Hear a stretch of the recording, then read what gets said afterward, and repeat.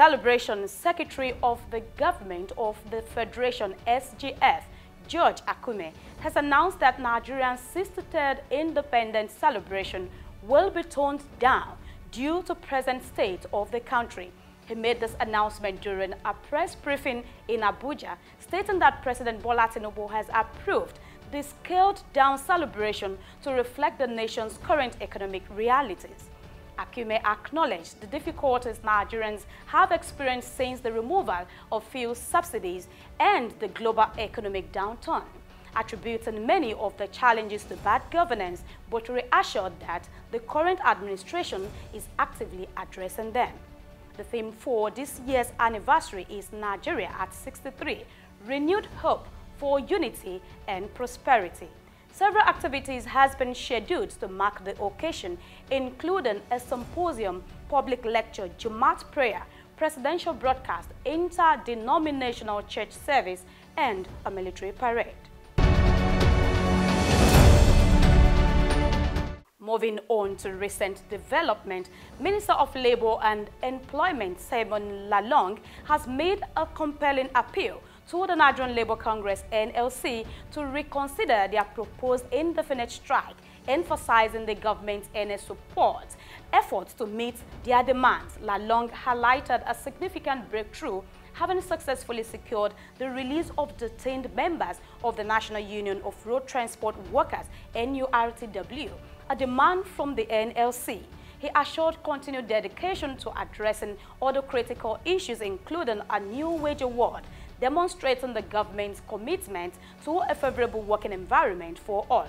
However, the NLC remains resolute in their stance, convening a crucial nationwide meeting to deliberate on the potential declaration of economic shutdown. This decision stems from perceived government inaction regarding the removal of fuel subsidy, a matter the NLC had outlined as imperative for resolution. Still in Nigeria, in a noteworthy development, Obafemi Awolowo University, OAU, in Ile-Ife, Osun State, has heeded to the pressure from its student body as it announced a reduction in recently increased school fees. The decision comes after extensive deliberations between the university's management and the student unions.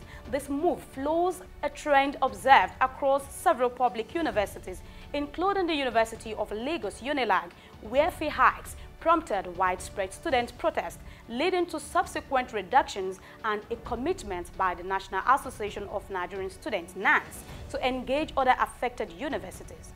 During the dialogue at OAU, the Students' Union advocated for a 50% reduction in fees, but the university administration maintained that the new charges were essential for efficient operations. As a result, the charges for humanities and science students have been decreased, with returning and new students benefiting from these adjustments.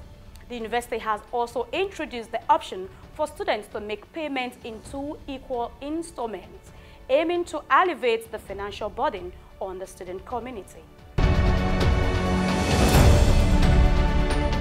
And report from the oil sector, the Nigerian National Petroleum Company, NNPC, and the Nigerian Content Development and Monitoring Board, NCDMB, have signed a Memorandum of Understanding MOU with international oil companies in a bid to reduce cost of production and increase efficiency in the sector. The MOU aimed to streamline the contracting cycle in the sector, reducing it to a maximum of 180 working days. This optimization is expected to improve the business environment, lower cost, enhance efficiency, and ultimately result in increased production, higher revenues, and improved profitability. The MOU aligns with the federal government's goal of achieving double-digit economic growth and seeks to create value for all stakeholders, including investors, companies, host communities, and the nation as a whole. And now we move away from Nigeria to the foreign updates. The multinational car manufacturer Nissan is accelerating its electrification plans by committing to selling only electric vehicles, EVs, in Europe by 2030. Nissan CEO Makoto Uchida says that this move is in line with the company's vision for a sustainable transportation future and represents the right course of action. This decision is being made independently of the UK's idea to postpone its ban on the sales of new petrol and diesel cars from 2030 to 2035. In addition, the company announced its intention to introduce new battery technology by the end of the decade, aiming to substantially decrease both the charging time and cost associated with electric vehicles, EVs.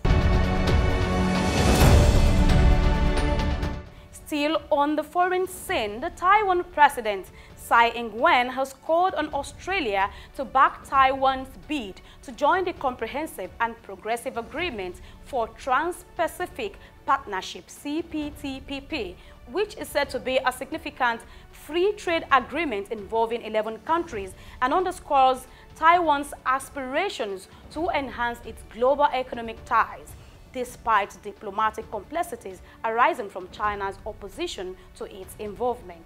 During a meeting with a delegation of Australian lawmakers, Tsai called upon the Australian government and parliament to endorse their accession to the CPTPP, highlighting the potential for joint efforts to boost economic growth and promote sustainable development in the Indo-Pacific region.